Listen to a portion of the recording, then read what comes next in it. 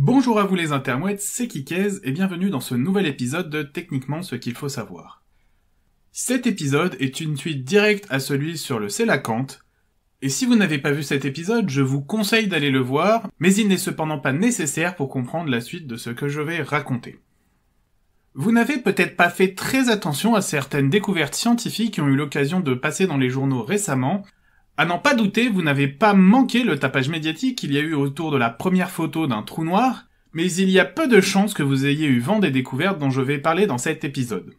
Ces nouvelles n'ont certes pas la capacité de faire vendre des journaux comme le ferait un numéro spécial sur les frasques qui jalonnent la vie politique, ou sur l'actualité people, mais elles sont autrement plus importantes pour notre planète et son avenir.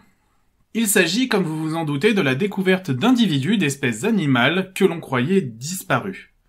Une sorte de redécouverte de ces espèces en somme. Mais si le sélacanthe a été considéré comme éteint avant d'être redécouvert, il n'est bien sûr pas le seul dans ce cas-là. De nombreuses autres espèces, grâce au progrès dans l'observation et à des captures chanceuses pour certaines, ont en effet pu être observées dernièrement. Mais commençons par notre première espèce. Il s'agit d'une araignée anglaise nommée Eresus colari, ou Ladybird Spider en anglais, en référence à sa ressemblance avec la coccinelle qui est surnommée Ladybird dans de nombreuses provinces du Royaume-Uni. Elle a été décrite en 1805, mais les habitudes des femelles vivant dans des terriers, son cycle de vie relativement long et la faible capacité à coloniser de nouveaux sites ont été une cause majeure dans son déclin. En effet, l'agriculture intensive de l'entre-deux-guerres a dans un premier temps commencé à fragiliser l'espèce, avant que l'utilisation massive de pesticides ne vienne lui porter un coup que l'on crut fatal à l'après-guerre. Redécouvert dans les années 1980, un programme de sauvegarde a été mis en place afin que l'espèce ne rencontre pas l'extinction funeste qui lui avait été prédite. Bien que toujours considéré comme étant en danger, ce programme a permis de réintroduire petit à petit en milieu naturel des individus issus de l'élevage dans une réserve naturelle du comté de Dorset, dans le sud-ouest de l'Angleterre. Passons maintenant à notre deuxième espèce. Il s'agit de l'abeille de Wallace. Si cette dernière ressemble fortement à un scarabée, Megachile plutôt est bel et bien une abeille découverte en 1858 par le naturaliste Alfred Wallace, originaire des forêts tropicales humides indonésiennes et plus spécifiquement endémique des îles Moluques du Nord. Pendant plus d'un siècle après sa découverte, elle fut recherchée en vain par de nombreux entomologistes qui voulaient l'étudier et fut considérée comme éteinte avant d'être redécouverte au début des années 1980, là encore. Mais toutes les expéditions menées depuis lors avaient échoué à trouver le moindre spécimen, et même si elle ne fut pas déclarée comme éteinte, elle avait totalement disparu pendant 38 ans jusqu'à février 2019. Mais comment cette abeille géante qui peut atteindre 4 cm de long et 6 cm d'envergure a-t-elle fait pour passer totalement inaperçue toutes ces années? Eh bien, il y a à cela trois raisons. La première est que cette espèce, contrairement à nos abeilles mellifères, est une solitaire. Son nid est constitué d'une seule abeille, la reine, qui pond ses œufs et qui va défendre et nourrir ses larves. Une fois devenues adultes, ces dernières s'envolent pour vivre leur propre vie et ne reviennent jamais au nid maternel. La deuxième raison est que l'abeille de Wallace a un comportement extrêmement rare chez les abeilles, puisqu'elle fait son nid exclusivement dans les termitières actives de l'espèce Microcerotomes amboinensis. L'abeille profite ainsi d'un nid creusé par les termites et qu'elle est incapable de creuser par elle-même, tandis que les termites profitent partiellement des matériaux que l'abeille apporte de l'extérieur, mais également de l'aide bénéfique de cette dernière en cas d'attaque de la termitière. La troisième raison, enfin, est que les forêts où vivent, butinent et se reproduisent ces abeilles sont remplacées à grande vitesse par des plantations à perte de vue de palmiers pour fabriquer de l'huile de palme. Là encore, ce sont les activités humaines qui sont responsables du sort de cette abeille hors du commun. Allons voir du côté des vertébrés avec notre troisième espèce. Il s'agit de la tortue géante des Galapagos, Chelonoidis fantasticus. Les tortues des Galapagos sont célèbres pour avoir inspiré Darwin, ainsi que les espèces de pinsons vivant sur ces îles, sur la solidité de sa théorie de l'évolution. Cette tortue, vivant dans un environnement difficilement accessible, n'avait pas été revue depuis 1906. Même si des déjections étaient parfois retrouvées, mais également des traces de morsures sur des plantes, l'espèce était considérée en danger critique d'extinction. C'est seulement là encore en février 2019, lors d'une expédition menée sur l'île de Ferdinanda, où vit cette tortue, qu'une femelle adulte fut découverte dans cette île des Galapagos.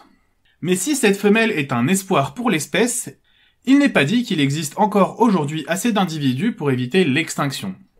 Puisque nous parlons des tortues des Galapagos, nous pouvons également aborder le sort d'une espèce cousine de tortue géante des Galapagos, Chelonoidis elephantopus. Aucune recherche n'avait jusqu'à présent réussi à retrouver un autre spécimen de cette tortue pouvant atteindre 400 kg, et cette espèce a été considérée comme éteinte depuis plus de 150 ans, soit peu après leur découverte par Charles Darwin.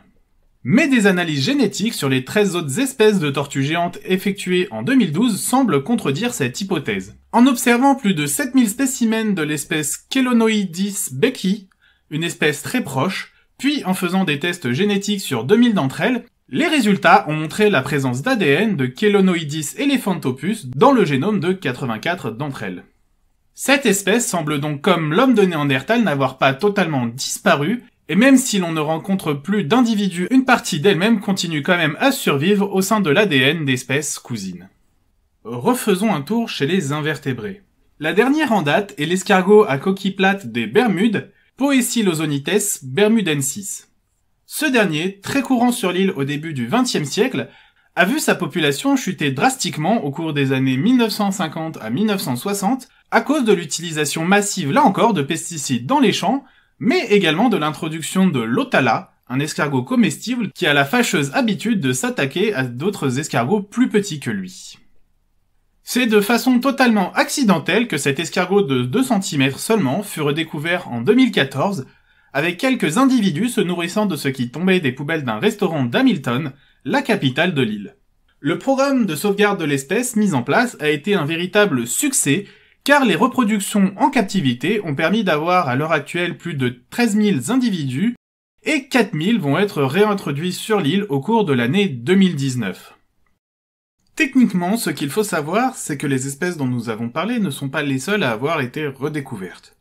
En effet, de très nombreuses autres espèces que l'on pensait éteintes ont été redécouvertes et montrent la résilience de la nature face à sa propre destruction. Mais quelles conclusions pouvons-nous concrètement tirer de ces découvertes récentes?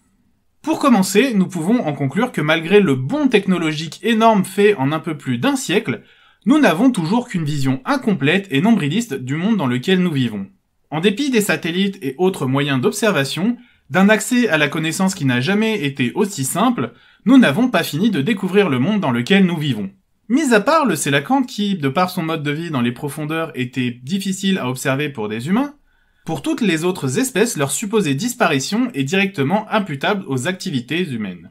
En utilisant massivement des pesticides pour protéger les cultures, en détruisant les forêts primaires pour produire de l'huile de palme ou d'autres denrées, en bétonnant la nature pour construire des routes et en introduisant de nouvelles espèces dans les écosystèmes, nous avons une influence non négligeable sur notre environnement.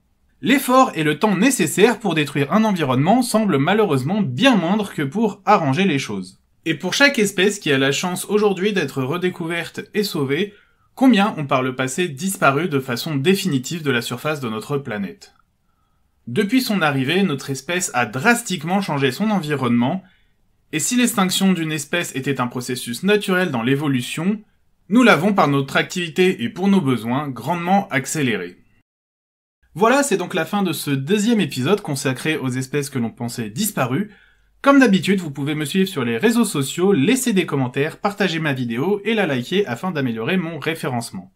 N'oubliez pas bien sûr de vous abonner si ce n'est pas déjà fait, et vous pouvez bien sûr toujours m'écrire pour me proposer des sujets que vous aimeriez voir traités ici. Et je vous dis en tout cas à très bientôt pour un nouvel épisode de Techniquement ce qu'il faut savoir.